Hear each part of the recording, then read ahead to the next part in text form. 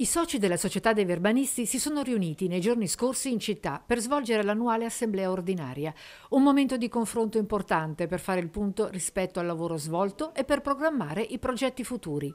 Nell'occasione è stato anche presentato il numero 43 della rivista dei Verbanisti. Un, un, volume corposo di oltre 300 pagine che come al solito contiene articoli di vario genere che riguardano l'arte, la storia, la letteratura e quant'altro e che da più di 40 anni eh, segue le vicende di questo bellissimo lago e diventa un punto di riferimento imprescindibile per chi voglia conoscere, studiare o amare il nostro lago.